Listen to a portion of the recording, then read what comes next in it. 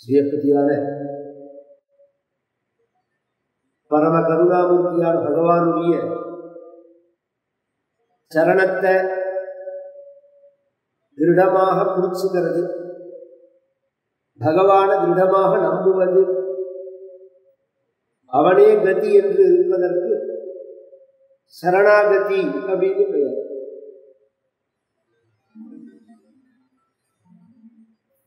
இது வந்து ஆறு வகையான தன்மையோடு இருக்கு அப்படின்னு பாஞ்சராத்திரம் சாஸ்திரம் சொல்றது. ஆனுகூல்யஸ்ய சங்கல்பா பிராதிகூல்யஸ்ய வர்ஜனம். ரட்சிஷ்யசேதி விஸ்வாசா கோத்திருத்வ வரணம் ததா. ஆத்ம நிக்ஷேப கார்பண்ய ஷட்விதா சரணாகதி பகவானுக்கு பிடிச்சதை செய்யறது வாழ்க்கையில செய்யணும் அப்படின்னு மனசுல சங்கல்பிச்சு வாழறதே ஒரு சரணாகதி தான். பிராதிகூல்யசிய வர்ஜனம். பகவானுக்கு எது பிடிக்காதோ அதை செய்யக்கூடாது. இப்ப பகவானுக்கு பிடிச்சது அப்படின்னா என்ன? எப்படி நாம் அதை தெரிஞ்சுக்கிறது? இது புராணங்கள்ல இருக்கு வேதங்கள்ல இருக்கு. வேதத்திலேயே சத்தியம் வதா தர்மஞ்சரா மாதவதேவோ பவா பிதிருதேவோ பவா இதெல்லாம் வேதங்களால சொல்லப்படுறதெல்லாம் பகவத் வாக்கியம் ஸ்ருதி ஸ்மிருதி மமைவாஜ்யா எஸ்தா உல்லங்கிய வர்த்தசே. ஆஜ்யாச்சேதி மமத்ரோகி மத்பக்தோபி ந வைஷ்ணவா அப்படிங்கிறான் பகவான். ஸ்ருதி ஸ்மிருதி. ஸ்ருதினா வேதம் ஸ்மிருதினா இதிகாசம் தர்மசாஸ்திரங்கள் இவைகள்லாமே மமை வாத்யா என்னுடைய கட்டளை. அதன்படி நடக்கிறது. அதுல எதை செய்யக்கூடாது இதை செய்யணும் அப்படின்னு சொல்லியிருக்கும். இதை செய்யக்கூடாதுன்னு சில இடங்கள்ல சொல்லியிருக்கும். செய்யணும்னு சொன்னபடி வாழறது ஒரு வந்த வகையான செய்ய சரணாகுது. செய்யக்கூடாது அப்படிங்கிறபடி வாழறது ஒரு வகையான சரணாகுது. பகவானுக்கு எது பிடிக்காதோ அதெல்லாம் செய்யாம இருக்கிறது பகவான் நம்மை காப்பாற்றுவார்னு உறுதியாக நம்புற இதுதான் திரௌபதி சரணாகதியில காண்பிக்கப்படுறது. உறுதியா நம்பணும். நாம் எப்படி நம்புறோம் அப்படின்னா சந்தேக புத்தியோட நம்புறோம் ஒரு பிராபலம் அப்படின்னு சொன்னா டாக்டர்கிட்ட தான் முதல்ல போகணும். போகட்டும். டாக்டர் சில விஷயங்களை சொல்லிட்டு ஒரு கட்டத்தில் கவனிச்சாதான் தெரியும். இது மாதிரி இருக்கு. நாங்கள் பண்ணுற வைத்தியத்தை பண்ணுவோம் அதுக்கு மேலே பகவான் நான் ஒரே வார்த்தை. அது மாதிரி இக்கட்டான ஒரு கட்டத்தில் உடனே என்ன பண்றோம்? யாராவது மகான்களை தேடி போறோம். மகான்கள் கவலைப்படாத அப்படின்னு சொன்னா அதுவும் நமக்கு பத்தல்ல. ஏதாவது நீங்க சொல்லுவோம் அதை செய்யணும் இல்லை அவ ஒரு பரிகாரம் சொல்றான்னு வச்சுக்கோங்க. ஒரு கோவிலுக்கு ஒரு பாராயணம் பண்ணு. ஒரு ஜபம் பண்ணு. இல்லை ஒரு ஹோமம் பண்ணு.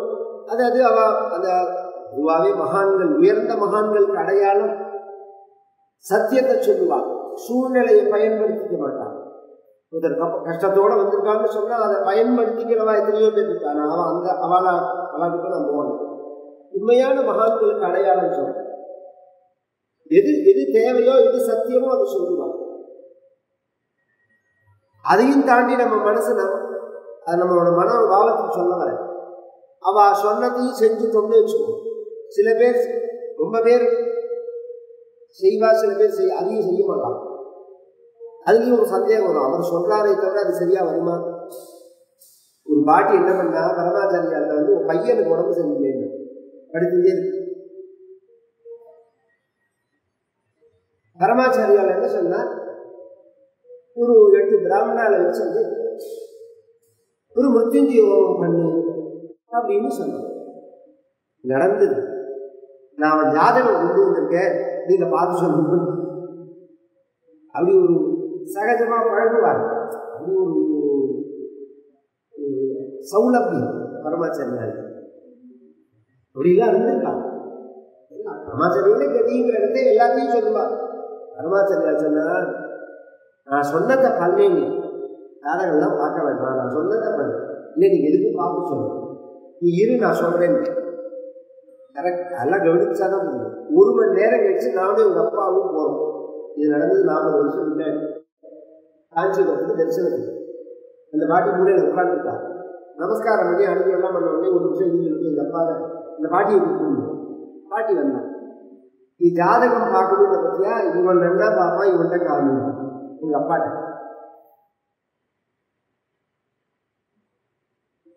உன்னை எங்க அப்பாவை தனியா அப்படி உட்காந்தா பார்த்து ஜாதகத்தை பார்த்துட்டு இவருக்கு இந்த மாதிரி இந்த இதுவா இருக்கு? ஒரு முக்கிய யோகம் பண்ணு பண்ணும்போது சரியா போயிடும்.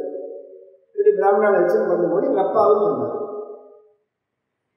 உடனே திரும்பி பரமாசாரியா வந்தார். பரமாசாரியா கேட்டா ஜாதகம் காமிச்சியா? அவர் என்ன சொன்னார்? முக்கிய யோகம் பண்ணு நான் என்ன சொன்னேன்? அப்படின்ட்டு. நீங்களும் அதை தான் சொன்னீங்க. நீ ஜாதகம் பார்த்து சொன்னாதான் நம்புவியா? நான் சொன்னால் நம்ப மாட்டியா? இப்படி சில சில பேர் இதுவாது தேவையில்ல. சில பேர் என்ன பண்ணுவாங்கன்னா பண்ணுறதெல்லாம் பண்ணிட்டு நான் பண்ணிட்டோம் அப்புறம் என்ன நடக்க போதோ நடக்கட்டும் இது மாதிரி ஒரு சம்சயாத்மா வினசியது சாஸ்திரம். நீ அல்பமான ஒரு டாக்டரை நம்புற ஒரு மருந்தை நம்புற அது என்ன பண்ணுறதுன்னு நமக்கு தெரியாது. சாஸ்திரங்கள் எல்லாம் ஆயிரக்கணக்கான வருஷமா சொல்லுகிறார் தர்மத்தையும் சத்தியத்தையும் மகான்களையும் பகவானையும் நம்ப. அதுல ஏமாந்து வேண்டாம் நீ அதை நம்பி அதை பண்ணி வைத்தியம் பண்ணி வெயிலீரா போறது அப்ப என்ன பண்ற? லட்சக்கணக்கான ரூபா செலவழிக்கணும். பொட்டலம் கட்டி கொடுக்குறாங்க கையில கடைசியில். எனக்கு தெரிஞ்சு அறுபது லட்சம் எண்பது லட்சம் செலவழிச்சு கடைசியில் பொண்ணெல்லாம் கட்டி கொடுத்தவாள் உண்டு. எங்களால் முடிஞ்சது அவ்வளோதான் சொல்லி கையை விரிக்கிற டாக்டர் எத்தனை பேர் பாக்குறா முன்னாடி எல்லாத்தையும் பண்ண சொல்லிட்டு பணத்தெல்லாம் கட்ட சொல்லி பில்லெல்லாம் வசூல் ஆனப்பறம் கடைசியில இதுக்கு மேலே ஒன்றும் வலிக்கலன்னு சொல்றவன் எத்தனை பேர் இருக்கா? அப்போ யாராவது டாக்டரையோ அந்த வைத்தியத்தையோ நான் குறை சொல்கிறவன் எல்லாம் முயற்சி பண்ணினா அதுக்கப்புறம் அது சரியாக வரலன்னு சொல்லிட்டு தான் வெளியில் வரவே தவிர அதை ஃப்ராடுன்னு நாம் சொல்கிறது இல்லை ஆனால் ஒரு பத்து ரூபா செலவழிச்சு ஒரு கோவிலில் தான் அர்ச்சனை பண்ணிட்டு வந்து பலிக்கலைன்னா ஃப்ராடுங்க இதுதான் நம்மளுடைய ஒரு பாபம்ங்கிறது எந்த நான் என்ன சொல்கிறேன் எல்லாமே சாஸ்திரங்கள்லாம் சத்தியம்.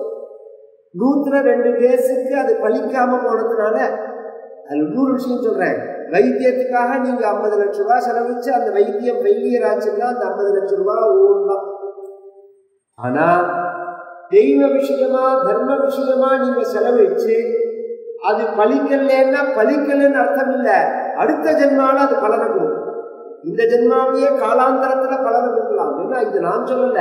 பகவத்கீதையில் பகவான் சொல்றான் நகி கல்யாணத்தில் கஷ்டி துர்கத்தின் காத வெச்சது கல்யாணத்துக்கு எது நல்லதை நாம் செய்கிறோமோ அந்த நல்லது ஒரு காலத்திலையும் வீணா போகவே போகாது.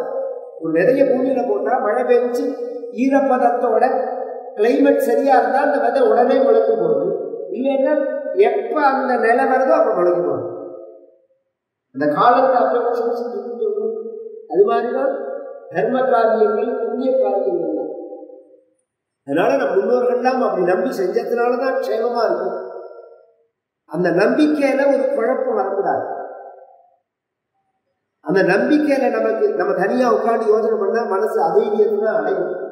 அது மாதிரி சமயத்துலதான் சாதுக்களை பிடிச்சினர் கோவிலுக்கு போறதோ மகான்கள் ஆச்சாரியார் பாலகுருவா இருக்கா அண்ணா இருக்கா எத்தனையோ மகான்கள் இருக்கா? நீங்க சந்நிதியில போய் உட்கார்ந்துன்னு பாருங்க ஒண்ணுமே வாழ்க்கை நீங்க உங்க கஷ்டத்தையே சொல்ல வேண்டாம். அந்த சந்நிதியில உட்கார்ந்துன்னு பாருங்க மனசு எவ்வளவு தைரியமா இருக்குன்னு பாருங்க. கொஞ்சம் கூட அதைரியமே வராது. ஏன்னா சூரியனுக்கு முன்னாடி இருந்து இருக்குமா எங்கேயாவது? ஞானத்துக்கு முன்னாடி அஜ்ஞானம் எங்கேயாவது வேலை செய்யுமா?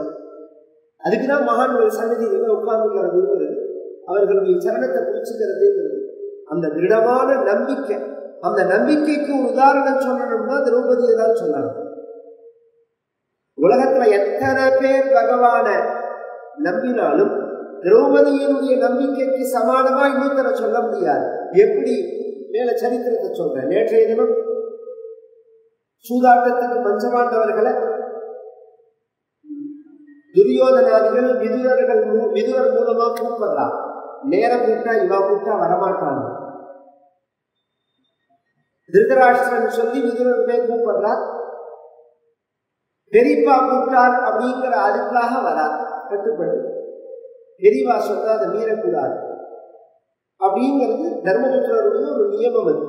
அகுந்தோரணிவர்த்தேயம் இதுவே விரதமாஸ்திதம் விதிஷ்ட பலவான் ராஜன் நிஷ்யாஸ்யாஸ்மிவசே ஸ்திதா வந்துட்டார் வந்தா ஒரு கட்டத்துக்கு அப்புறம் தர்மபுத்திரர் தன் நிலை இழந்துதான் ஆடுறார் பொதுவா நேற்று தினமே சொன்னேன் நான் ஆரம்பத்துல வேணா இந்த கட்ட பழக்கங்கள் விளையாட்டா இருக்குமே தவிர கொஞ்சம் உள்ள போக போக அதுக்கு அடிக்ட் ஆயிடுவாங்க அது அடிக்ட் ஆனப்புறம் தன் நிலை அவர்களை நாம் என்ன கண்ட்ரோல் பண்ணினாலும் கண்ட்ரோல் பண்ண முடியாது. அந்த ஒரு நிலைக்கு தான் பேட்டா தர்மபுத்திரர். எப்படி தெரியறது அப்படின்னு சொன்னா ஒரு பெண்ணை வச்சு மனைவியை வச்சு ஆடுறதுலேருந்து தெரியாது. எல்லாத்தையும் இழந்த பிறகு நான் தோத்தேன் நான் போறேன் கிளம்புறேன் தோத்து போயிட்டேன் அப்படின்னு சொல்றார். சகுனு சொல்றான் உன்னுடைய பத்திரிய வச்சு ஆடு. அஸ்தி தேவை பிரியா ராஜன் லகையே கோபராஜிதா. பனஸ்வ கிருஷ்ணாம் பாஞ்சாலி. தயாத்மானம் புனர்ஜயா. பிரியமான பத்னியான பாஞ்சாலியை வச்சு ஆடினா அதிர்ஷ்டம். ஏன்னா சாஸ்திரங்கள்ல பத்னி மூலமா தான் அதிர்ஷ்டம் வரும்னு சாஸ்திரம் சொல்ற சாஸ்திர ரீதியா சொல்றேன். ஒரு பெண் நடந்து வரத்தே கல்யாணமாகி இந்த கிரகப்பிரவேசம்னு சொல்லுங்க அதுல எல்லாமே ஏற்பட்ட குழப்பம் இந்த புதுசாக வீடு கட்டி கிரகப்பிரவேசம் பண்ணுறா பாருங்க அதுக்கு ஒரிஜினல் கிரகப்பிரவேசம் பேர் கிடையாது. இந்த எதுக்கு கிரகப்பிரவேசம் கல்யாணமாகி அந்த பொண்ணை வீட்டுக்குள்ள அழிச்சு வரவே அதுக்குதான் கிரகப்பிரவேசம் சாஸ்திர ரீதியா கிரகான் பத்ரான் சுமன சப்ரபத்யே அப்படின்னு இன்னைக்கு எல்லா மதம் சொல்லி வைக்கிறான். கிரகப்பிரவேசத்துக்கு அந்த மந்திரம் அதுக்கு தான் அந்த மனைவியை உள்ள வீட்டுக்குள்ள அழிச்சு வரதுக்கு தான் அந்த மந்திரம். ஒரிஜினலா கிரகப்பிரவேசம் தான் அதுதான். இதுக்கு நூதன கிரகப்பிரவேசம் இருக்கு. இந்த புதுசா வீடு கட்டுற மாதிரி இப்பதானே அந்த புதுசா இடிச்சு இடிச்சு வீடு கட்டி இந்த பணத்தை என்ன பண்ணுறதுன்னு தெரியாது. அந்த காலங்கள் எல்லாம் பார்த்து எல்லாம் பரம்பரையா அவரை வீட்டுக்குள்ளதான் இருப்பாங்க பெருசா ஒரு மாற்றம் இருக்காது அந்த கிரகப்பிரவேசம் அந்த பெண்ணுக்கு அடி எடுத்து வராம இருக்கும் அப்ப மந்திரம் இருக்கு ஏக விஷய விஷ்ணுஸ்துவான்வேது द्वे पूज्ये विष्णुस्त्वान्वेतु त्रीणि व्रताय विष्णुस्त्वान्वेतु चत्वारि मायो भवाय विष्णुस्त्वान्वेतु பஞ்சபசுத்தியோ விஷ்ணு. இப்படிலாம் மந்திரம் சொல்ற ஏக விஷே எங்க நீ வர முகூர்த்தம் உன்னோட கால் அடிவைப்பினால எங்க வீட்டுல அன்னத்தட்டுப்பாடே இருக்கக்கூடாது. சமருத்தியா இருக்கணும். இதெல்லாம் கவனிச்சாதான் புரியுது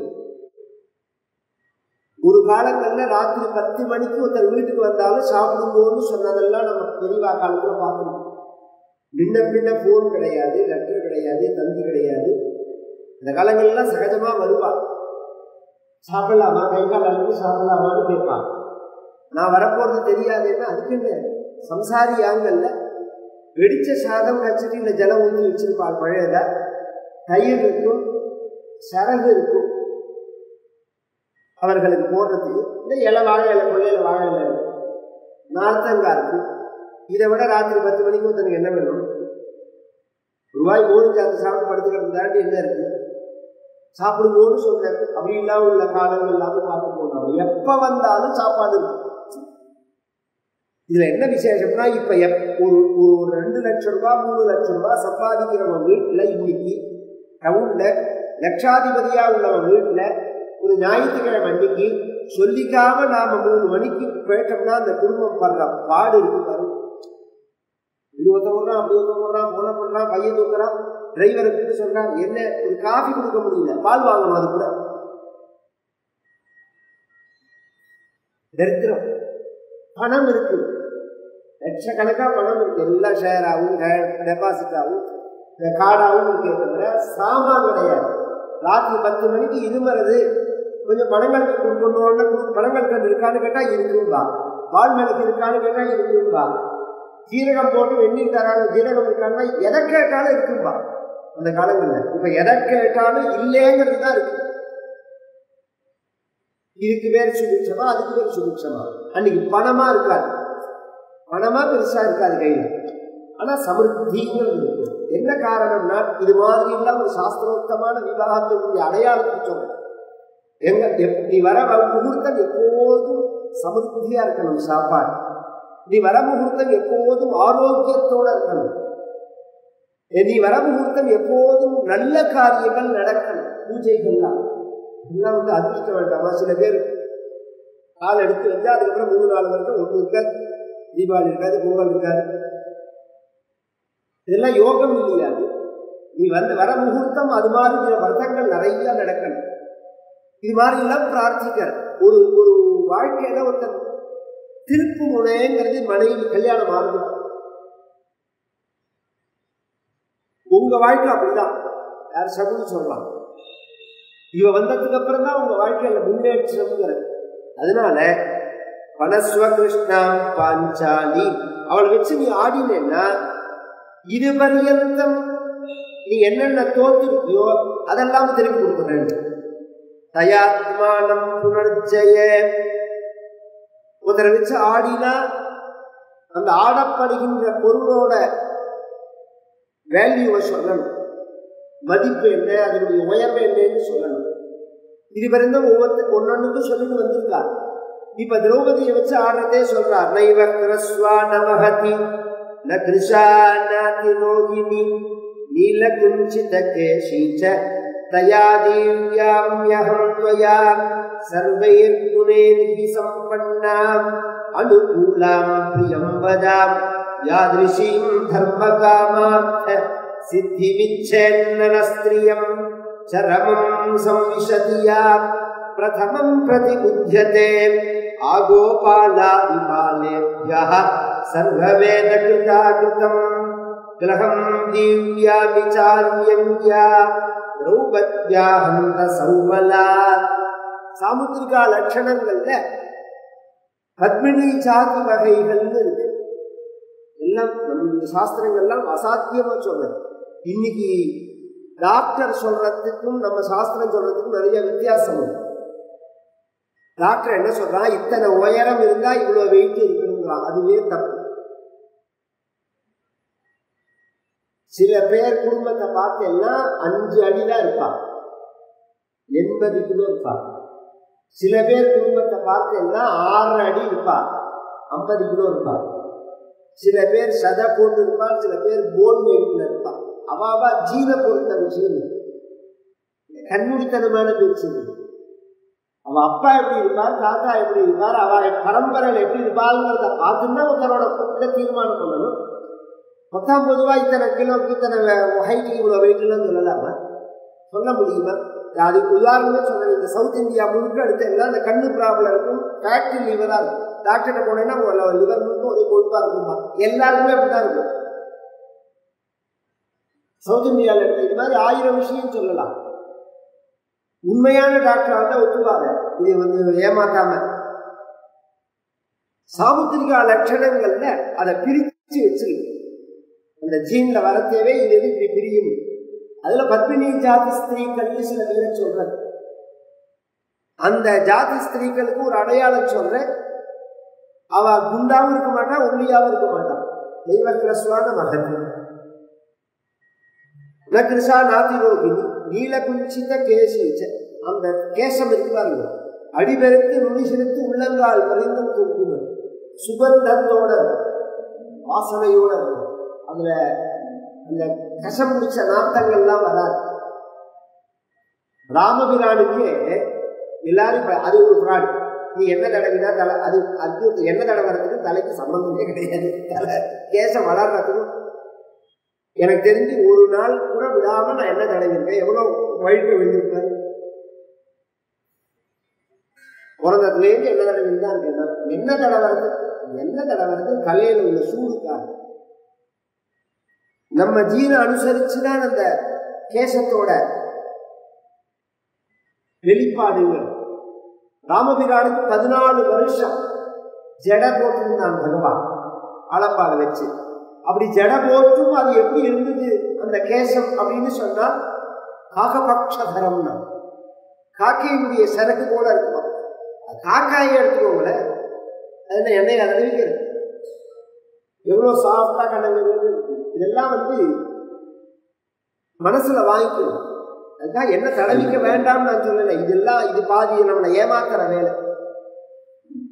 அந்த சுகந்தம் மாறவே மாறாது. அதுதானே இப்ப மதுரையில சண்டை வந்ததே. நக்கீரருக்கும் சிவபெருமானுக்கும் சண்டை வந்ததே இந்த கேசத்துல உள்ள அந்த வாசனைங்கிறது வாசனா திரவியங்களை தடவிந்து புஷ்பத்தை வச்சுக்கிறதுனாலதான் வருமே தவிர இயற்கையில வராது அப்படின்னு நக்கீரர் சொல்றார். சாஸ்திரங்கள்ல அப்படி சொல்லல சில பேருடைய இதுல அது வாசனை வரும்னு இருக்கு. பகவான் அதை சொல்றான். இயற்கையில உண்டு அப்படின்னு. அது பார்வதியா இருந்தாலும் கிடையாதுன்னார் நக்கீரர் அது எப்படி சொல்ல முடியும்னு கேட்டான் பகவான். இப்ப நக்கீரர் சொன்னது கரெக்டா பகவான் சொன்னது கரெக்டா நக்கீரர் பகவான் சொன்னதுதான் கரெக்ட் நக்கீரர் சொன்னது கரெக்ட் கிடையாது. பொதுவாக என்னமோ குற்றத்தை பெருசா சொல்ற மாதிரி தோணும். அவரை பாதிச்சார் அவர். மாம்சபிண்டமான சரீரங்கிற ரீதியில பாதிச்சாரே தவிர சாஸ்திரங்கள் பொய்யா இல்லை? சாமுதிரிகா லட்சணத்தை சொல்ற சாஸ்திரங்கள்லாம் அதை சொல்றார் அவர். சர்வையில் பூனை சில பேர் ரொம்ப லட்சணமா இருப்பார். ரொம்ப ரூப் லட்சணம் வேற ரூபம் வேற. ரொம்ப ரூபவதியாகவும் இருப்பார். ஆனா குணம் இருக்காது. வல்லு வல்லு இருப்பாங்க அதை திறந்தாலே ஓடுற மாதிரி அதனாலதான் கல்யாணத்துல ரூபத்தை பார்த்து கல்யாணம் பண்ணக்கூடாது குணத்தை பார்த்து கல்யாணம் பண்ணக்கூடாது ரூபத்தை பார்த்து கல்யாணம் பண்ணிட்டா போட்டோவோட அழகா இருக்கிறதோட முடிஞ்சு வச்சு வாழ்க்கை அப்புறம் பொழுது முடிஞ்சா குடும்பம் நடத்தி ஆகணும் வேண்டாம கோர்ட்டில் இருக்கிறாங்க சண்டையை போட்டு ஆரம்பிச்சுக்கோங்களேன் ஒரு நிமிஷம் வீட்டுக்குள்ள உட்கார முடியாது. இன்னைக்கு நீங்க இப்ப கிளம்பி போய் பீச்சு பக்கம் பார்க்கணும் ஆபீஸ் விட்டு வந்து அங்க உட்காந்துருக்கான் கடலையை வாங்கி பொறிச்சு அங்க உட்காந்துருக்கான் வீட்டுக்கு போகலையாருன்னா யோசனை பண்ணலாம். ஸ்டேஷன்ல உட்காந்து பம்பு அடிக்கிறான் ரயில்ல உட்காந்து பம்பு அடிக்கிறான் பஸ் ஸ்டாண்ட்ல உட்காந்து பம்பு அடிக்கிறான் வீட்டுக்கு போக மாட்டேங்கிறான். எந்த வீடு உயர்வான வீடுனால் அந்த அந்த அந்த காரியம் முடிஞ்ச உடனே நம்ம வீட்டுக்கு போனோம் வீட்டுக்கு போனோம் பத்திரியை விட்டு பிரிஞ்சிருக்கோம் அப்படிங்கிற ஆக்கிரகத்தோட வரணும்னு சொன்னா அந்த வீட்டுல அப்படி இருந்தா தானே வர முடியும். அந்த பிரியம் இருக்க வேண்டாமா? குணம் இருக்கணும் குணைகி சம்பன்னம் அனுகூலம். அனுகூலமா இருக்கிறவன் அதுக்கு மேல சொல்றால் பிரியம் வராங்கிறான் பிரியமா பேசுறவன் தான். லட்சணமாகவும் இருப்பாள் ரூபத்தோடையும் இருப்பாள் குணமும் இருக்கும் அனுகூலமாகவும் நடப்பால் பேசுறதுல பிரியமா பேசியிருக்கார். பிடிச்சமான பட்சணத்தை பண்ணி வச்சுட்டு உங்களுக்கு என்ன பிடிக்குமோ அதை பண்ணி வச்சிருக்கேன் உங்க அம்மா ஒரு நாளைக்கு மேல பண்ணி கொடுத்துருப்பாளா உங்களை கவனிச்சிருப்பாளா? சாப்பிடு. அப்படின்னா அது விஷமா இருக்குமா பட்சணமா இருக்குமா? சில விஷயங்கள் பேர் எல்லாம் செய்வான் மேல அத விதுர விதுர நீதியில சொல்லக்கூடாது. இந்த ஆறும் அமைச்சவன் பெரிய பாக்கியசாலி வாழ்க்கையில் அர்த்தாகமோ நித்தியம் அரோகிதாச்ச பிரியாச்ச பாரியா பிரியவாதினீச்ச நசியஷ்ட புத்திரா அர்த்தகரீச்ச வித்யா. ஷட்ஜீவலோகசிய சுகாணி ராஜன் அப்படிங்கிறார் விதுரர் தினப்படி ஏதாவது ஒரு வகையில பண வருமானம் இருக்கணும். சம்பாத்தியம் அரோகிக்காச்சு ரோகம் இல்லாமல். எதை சாப்பிட்டாலும் உடம்புல ஹிதமா இருக்கும். வாழைப்பழம் சாப்பிடலாம் உட்காது ஜலதோஷம் வந்துடும் கொய்யாப்பழம் சாப்பிடலாம் வயல் நீங்கி போதும் டைஜஷன் ஆகாது. மாம்பழம் சுகர். எதை தொட்டாலும் வேண்டாம்னா அப்புறம் என்னத்துக்கு வாழ முடியும் ஒரு ஆரோக்கியம் வேண்டாமா? எல்லாம் சாப்பிட வேணாம். எனக்கு ஒன்றும் பண்ணாது. அப்படின்னு சொல்ற மாதிரி இருக்க வேண்டாமா? அப்படி இருக்கணும்னா என்ன பண்ணணும்னா அளவா சாப்பிடணும். அது ஒன்றும் இருக்கிறதில்ல. ஒரு டாக்டர் சொன்னார் சுகர்னா என்ன டாக்டர்னு நான் கேட்டேன். எனக்கு அலோபதி தெரியாதனால உங்களுக்கு நூறு கிலோ போட்டா. அந்த நூறு கிலோவை பின்னாடி தின்னுட்டேன்னா பின்னாடி தின்ன முடியாதுல்ல. அதான் சுகர் தான் அளவா சாப்பிட்டேன்னா ஆயுள் சுகருக்கு சாப்பிடலாம். அளவுக்கு மீறி சாப்பிட்டேன்னா பின்னாடியே முடிஞ்சு போயிட்டு அந்த போட்டான்னு ஆரோக்கியங்கிறது அது ஆரோக்கியம் இருக்கணும். பிரியாச்ச பாரியா அன்பான மனைவி அமையணும் வாழ்க்கையில. அதோடு நிறுத்தல விதுறார் பிரிய வாதினி சேர்க்கிறார். மனைவி அன்பா இருந்தா மட்டும் போராது பிரியமா பேசுறவளாவும் இருக்கணும் சில பேர் ரொம்ப பிரியமா அன்பா பிரியமா பேச தெரியாது இப்ப நான் சொன்ன மாதிரி எல்லாத்தையும் செஞ்சுட்டு குதிக்க அமைக்கிற மாதிரி பேசுவாங்க. இன்னும் சில பேர் எப்படின்னா பிரியமா பேசிட்டு இவன்கிட்ட காரியத்தை வாங்கி விட்டுருவேன் பிரியமா இருக்க மாட்டான் உண்மையான பேச்சு ஆனா பார்த்தீங்கன்னா அப்படியே மயக்கிற மாதிரி இந்த ரெண்டுமே தப்பு. பிரியமும் இருக்கணும் பிரியமாவும் பேசணும். பிரியம் வத யாதிரிசியும் தர்ம காமார்த்த சித்திமிச்சேன்னல ஸ்திரியம். அவள் மாதிரி ஒரு உத்தமிய உலகத்துல பார்க்க முடியுமா? அப்பேற்பட்டதான அந்த பாஞ்சாலியை வச்சு நான் ஆடுறேன். உலகம் தீவ்யா விசாரியன்யா ரூபத்யாஹந்த அப்படின்னு சொன்னார் அந்த சபையில சொன்ன அடுத்த செகண்ட் எவரும் தேது வச்சதே தர்மராஜன தீமதா திக்திகித்யேவ விருத்தானாம் சப்யானாம் சிச்சி அப்படின்னா. அங்கிருந்து பெரியோர்கள்லாம் சுச்சுவே சாசவாராஜன்னி ராஜ்யாம் சந்தத்திரே சுஜா. அந்த சபையே வறண்டு போயிடுது. தர்மிஷ்டர்களான ராஜாக்கள் கண்ணெல்லாம் கண்ணீர் வருது. பீஷ்ம துரோண கிருபாதீனாம் சமஜாயதா பீஷ்மாச்சாரியால் துரோணாச்சாரியால் கிருபாச்சாரியால் உடம்பெல்லாம் குப்புடு வேர்த்து கிடக்கு சிரோகிஹீத்வா விதுரா விதுரர் என்ன ஆனார்னா கையில தலையில கை வச்சு உட்கார்ந்துட்டாங்க கதசத்வ இவா பவண்டி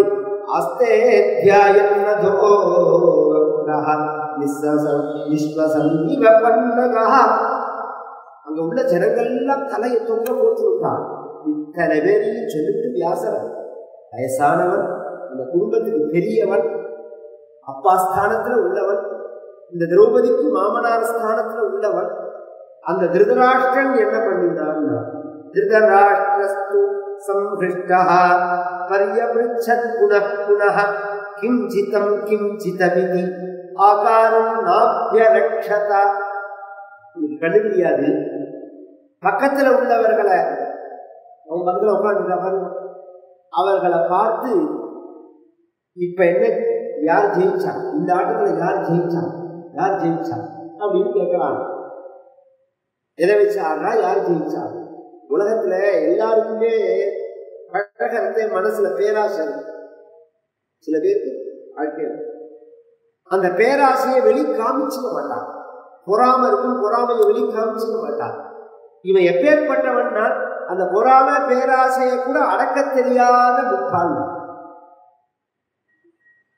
கேட்கிறான் யார் ஜெயிச்சா? அப்படின்னு கேட்டான். ஜெகர்ஷ கர்ணோதி பிஷம் சக விஸ்வாசனாதிபிகி இதரேஷாம் து சப்யானாம் நேத்ரேபிய பிராபதஜலம் கர்ணன் விஸ்வாசன் எல்லாம் ஒரு குதூகலத்தை அடைஞ்சிட்டான். அந்த இந்த இதுக்குதான் அவ எதிர்பார்த்திருந்தது. அந்த சபையில உள்ள ஜனங்கள் எல்லாம் கண்ணிலேருந்து ஜனம் வர்றது அப்படி அந்த திரௌபதியை வச்சேன் அப்படின்னு சொன்னார். அடுத்த க்ஷணம் ஜிதமித்யேவ சகுனிஹி யுதிஷ்டிரம் அபாஷதா அந்த காயை உறுதி போட்டு ஜெயிச்சேன். ஜெயிச்சேன்னு சொன்ன இது சொன்ன அடுத்த செகண்டே துரியோதனன் எழுந்திருந்தான் ஏ ஹிட்சத்தாக திரௌபதி மானயஸ்வ பிரியாம் பாரியாம் சம்மதாம் பாண்டவானாம் சம்மார்ஜதாம் வேஷ்ம வரைது சீக்கிரம் தத்ராஸ்து தாசீகிர புண்ணியசீலா அவனுக்கு ஒரு வேலைக்காரன் அவனை கூப்பிட்டு சொல்றான் திரௌபதியை போய் பிடிச்சி அழிச்சுட்டு வான்னா கூப்பிட்டு வான்னா அவ கையில தொடப்பத்தை கொடுத்து இந்த சபையை பெருக்க சொல்லு. இன்னிலேருந்து அடிமை அவன் எனக்கு. இந்த சபையை அவளை பெருக்க சொல்லு. சம்மா இத்தனை நாளா பஞ்சபாண்டவர்களுக்கு மட்டும்தான் அவள் சொந்தம். இன்றையிலேருந்து எங்க எல்லாருக்கும் சொந்தம் அவன். அப்படி ரெண்டு அர்த்தத்தோட பேசுறான் விதுரன் சொன்னார் துர்விபாஷம் பாஷிதம் துவாதுஷேன நமந்த சம்புத்தி பிரியாசபத்தா நீ பேசாத சந்தர்ப்பம் உனக்கு சாதகமா அமைஞ்சிருக்குங்கிறதுக்காக வார்த்தையை விடாத துரியோதனா எதெல்லாம் பேசக்கூடாதோ அதெல்லாம் பேசுற இது பெரிய ஆபத்துல கொண்டு நீ பண்ற காரியங்கள் மேல மேல தப்பு பண்ற. அது எது போல தெரியுமா? ஒரு காட்டுல ஒரு ஆடானது புல்லு சாப்பிட்டுட்டே இருக்கிறதவே அதோட சேர்ந்து ஒரு கத்தியை முழுகுது. அந்த கத்தியை முழுங்கினா அந்த கத்தியே உள் பக்கத்துல தொண்டையில குத்தி இருக்கு அது என்ன பண்றது? இப்படி தலையை ஆட்டினா அது கீழே விழுந்துடும் அது அப்படி பண்ணாம அதோட குடி வெளிப்பக்கம் நீட்டின்னு இருக்கா? பக்கத்துல இருக்கிற ஏதோ ஒரு கல்லோ கட்டையிலையோ அதுல போய் அப்படி தட்டுறது அது. தட்டினா அந்த கத்தி உள்ளவே திருப்பி குத்துமா வெளியில வருமானான்னு கேட்டான் அஜோ ஈசஸ்திரம்.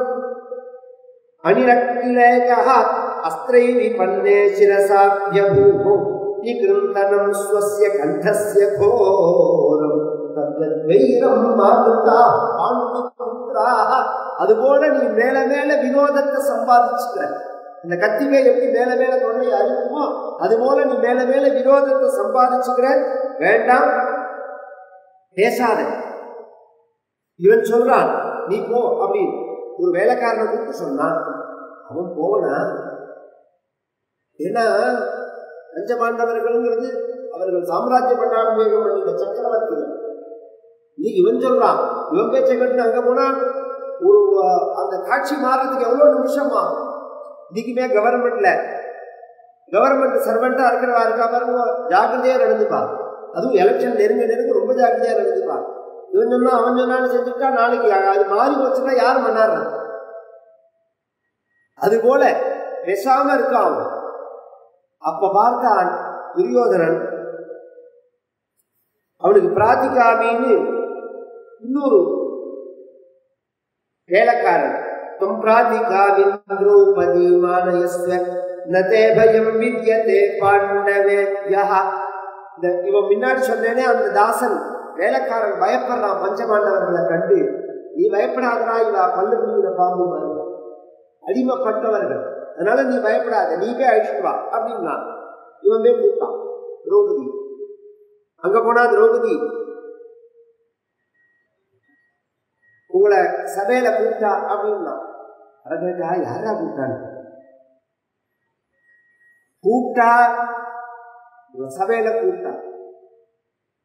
இன்னார் கூப்பிட்டா இந்த விஷயத்துக்காக கூப்பிட்டான்னு சொல்லல. சபையில கூப்பிட்டாங்க யார் கூப்பிட்டான்னு கேட்டா. ஏன்னா ஒருத்தர் கூப்பிட்டான்னு உடனே கிளம்பி போயிடுவாங்க முன்னாடி.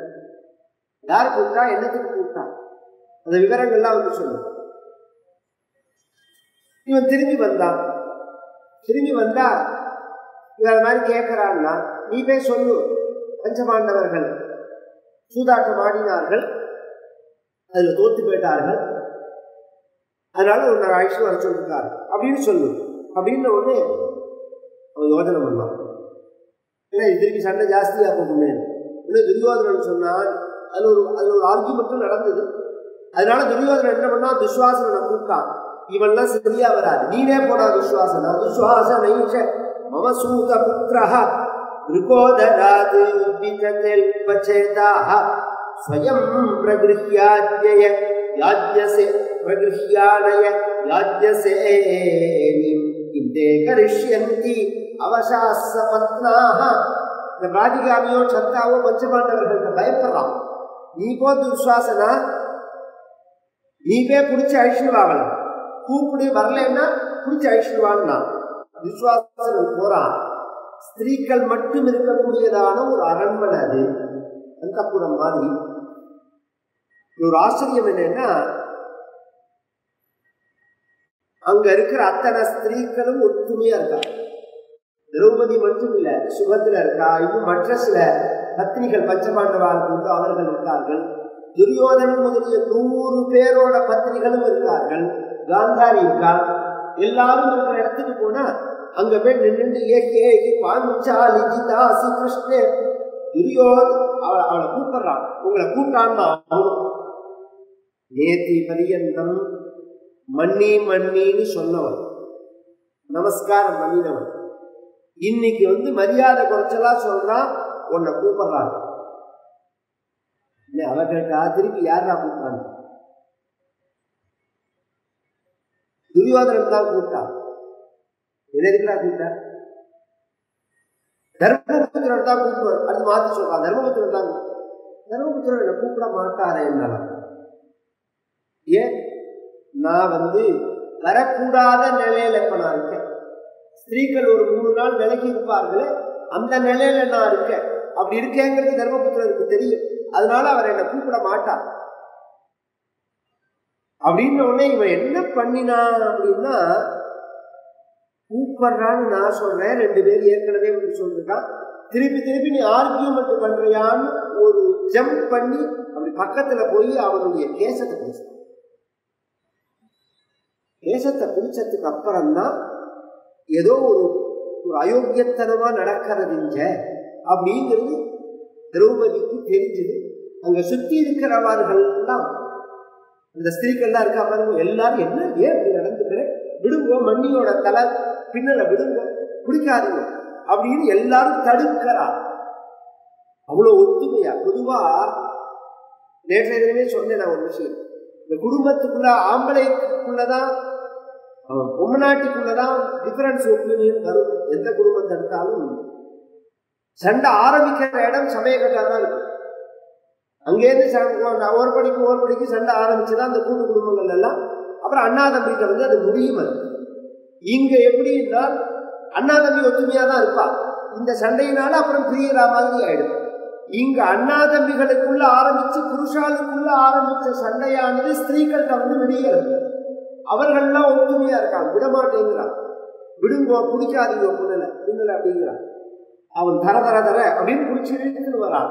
இழுத்துன்னு வந்தா அந்த அவர்கள் இருந்த இடம் வேற சபா மண்டபம் வேற நடுப்புல ரோடு வழியா தான் வரணும். அப்படி பிடிச்சி இழுத்துன்னு வரத்தே அங்க இருக்கக்கூடியவர்கள்லாம் பார்க்கிறார்கள். தெருவில் உள்ள ஜனங்கள்லாம் ஆஹா இது என்னது என்னதான் டிஃபரன்ஸ் ஒப்பீனியன் இருந்தாலும் கருத்து வேற்றுமை இருந்தாலும் சண்டை இருந்தாலும் ஸ்திரீக்களை கண்ணியமா நடத்தாத குடும்பம் என்ன குடும்பம்? ஸ்திரீகளை கண்ணியமா பெண்களை கண்ணியமா நடத்த வேண்டாமா? ஒரு அதுவும் சொந்த அண்ணா தம்பி சம்சாரத்துக்கிட்டேயே இப்படி நடந்துக்க கூடியவன் நாளைக்கு யார்கிட்ட எப்படி நடந்துக்க மாட்டான் இந்த தேசத்துல நாம வாழறதா வாழாம இருக்கிறோம் பயப்படுறாரு. அவன் பிடிச்சி இழுத்துன்னு வந்து சபையில நிறுத்துறான். நிறுத்திட்டு நிறுத்துறதோட இல்லாம ஒரு கையால அப்படி பின்னல பிடிச்சிருக்கான் ஒரு கையால இடுப்புல கை வைக்கிறான். ஏகி ஏகி. பாஞ்சாலி தாசி கிருஷ்ணே துரியோதனம் பசிய விமுக்த லஜ்ஜா குருன் பஜஸ்வாயத பத்ர நேத்ரே தர்மேன லப்தாசி சபாம் பதைஹி எந்த எந்த தலைமைத்த பிடிச்சான் தெரியுமான்னார் வியாசர் ஏ ராஜசூயாவ புத்தேன ஜலேன மயாக்கிரதோ மந்திர புத்தேன சிந்தாஹா எந்த ராஜசூயங்கிற பெரிய யாகத்தை பண்ணி அவபிருதம்ங்கிற ஸ்நானம் பண்றதே மந்திரவத்தா ஜலத்தை தலையில விடுவாள் மந்திரம் சொல்லி அப்படி அபிஷேகம் பண்ணப்பட்ட அந்த கேசத்தை பிடிச்சு இழுக்கிறான். இழுத்து பாரு அப்படிங்கிறான். இவ வந்து நிற்கிறா இது மாதிரி அவன் முரட்டுத்தனமா ஸ்திரீ இல்லையா? அவன் முரட்டு பையன் இல்லையா இப்படி பிடிச்சு கொண்டு வரத்தே எங்க கொண்டு நிறுத்த போறான்னு நினைச்சுதான் யோசனை பண்ணினார் திரௌபதி அந்த சபையில கொண்டு நிறுத்தினோடனே அப்படி நிமிந்து பார்க்கிறா பீஷ்மாச்சாரியா இருக்காள் துரோணாச்சாரியா இருக்காள் கிருபாச்சாரியா இருக்காள் பாக்லீகராஜ் இருக்கான் திருதராஷ்டிரன் இருக்கான் அஞ்சு பேர் இருக்கான் இவாள்லாம் இருக்கான்னு ஒன்று ஒரு தைரியம் வந்து.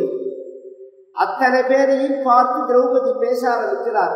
இமே சபாயாம் உபநீத சாஸ்திராக கிரியாவந்த சர்வ ஏவேந்திர கல்பாக குருஸ்தானா குரவஷ்டைவ சர்வே தேஷாமக்ரேணோத்சகே ஸ்தாத்துமேவம். இந்த சபையில இருக்கக்கூடிய நீங்க எல்லாரும் பெரியவர்கள். வயசானவர்கள். சில பேருக்கு வயசாயிருக்கும். பெரியவாளா இருப்பா குடும்பத்துக்கு பெரியவாளா இருப்பா குட்டிச்சவருக்கு வயசான மாதிரி வயசாயிருக்கும் குலதெய்வம் பேர் கேட்டா கூட சொல்ல தெரியாது. உங்க குலதெய்வம் பேர் என்ன? உங்க காலத்துல என்ன சம்பிரதாயம்? அப்படின்னு கேட்டு பாருங்க ஒண்ணு தெரியாது. வயசாயிருக்கும் ஆனா. அது மாதிரி வெறும் வயசானவா இல்ல உபநீத சாஸ்திரா. சாஸ்திரங்கள்லாம் படிச்சவர்கள். சில பேர் எல்லாம் படிச்சிருப்பார் எந்த சப்ஜெக்டை கேட்டாலும் எந்த தர்மசாஸ்திரத்தை கேட்டாலும் சொல்லுவன். ஆனா ஒரு பிரசன் கூட அவா வாழ்க்கையில கடைபிடிக்க மாட்டான். பொறுத்தியாருக்கு வேணா உபதேசம் பண்ணுவாங்க அது மாதிரி உள்ளவர்கள் இல்லை. கிரியாவந்தகா சர்வையே வேந்திர கல்பாக அந்த தர்மங்களை ஆச்சாரங்களை அனுஷ்டானம் பண்றவர்கள் கடைபிடிக்கிறவர்கள் குரு மாதிரி உள்ளவர்கள் சில பேர்கள் குருஸ்தானத்தில் உள்ளவர்கள் சில பேர்கள் குருஸ்தானா குரவஸ்தைவ சர்வே துரோணாச்சாரியால் பீஷ் கிருபாச்சாரியால் இவர்கள்லாம் குருஸ்தானம் பீஷ்மரோ திருதராஷ்டிரனோ நேர் குரு போல. குருன்னா மாமனார் மாமியார் மாமனாருக்கும் அந்த வார்த்தை பொருந்தும். அதனால சொல்றார்.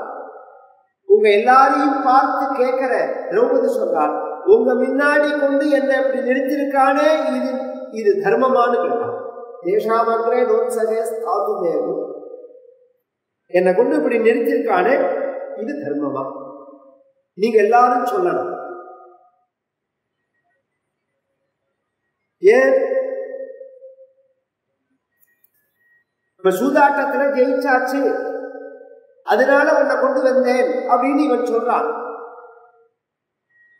தர்மபுத்திரர் சூதாடினா துஷ்வாசனம் பிடிச்சி இழுத்துன்னு வந்தான் துரியோதனன் சொல்லி துஷ்வாசனம் பிடிச்சி இழுத்துன்னு வந்தான் ஒரு பொம்மநாட்டியினுடைய கேசத்தை பிடிச்சி இழுத்துன்னு வந்து இடுப்புல கையை போட்டு நிறுத்துறதை விட அயோக்கியத்தனம் ஒரு பொம்மநாட்டியை வச்சு ஆடுறது. ஒரு பொம்மநாட்டியை வச்சு சூதாடலாமா ஒருத்தர் ஆடுவாளா? இயற் இயற்கையா இப்ப யார் மேல கோபம் வரணும்? இந்த இடத்துல. தர்மபுத்திரர் மேலதான் வரணும். உனக்கு அறிவு இருக்கா? நீ ஒரு மனுஷனா? ஒரு ஒரு மட்டமான ஒரு குடிகாரம் கூட இப்படி நடந்துக்க மாட்டான் உம நாட்டியை எவனாச்சும் இருந்தாருன்னா நீ ஆடி இருக்கியே அப்படின்னு அவரை பார்த்து ரெண்டு வார்த்தை நாக்க கொடுக்குற மாதிரி கேட்கணும். அதுதான் இங்க நியாயம். ஆனா துரோகன் சொல்றா இவர் ஒரு வார்த்தை கூட இவரை நான் தர்மஸ்ததா க்ஷத்ரவிதாஞ்ச விருத்தம். எத்திரஹ்யதீதாம் குரு தர்ம வேலாம் ಇವರನ ತಥಾ ಬ್ರುವಂತಿ ಕರುಣಂ ಸುಮಧ್ಯಮ ನುಷಾ கட்டாட்சைகபதீன பசியன்னு இவரை நான் ஒரு வார்த்தை கூட குறை சொல்ல மாட்டேங்கிறார் காரணம் என்ன அப்படின்னு சொன்னா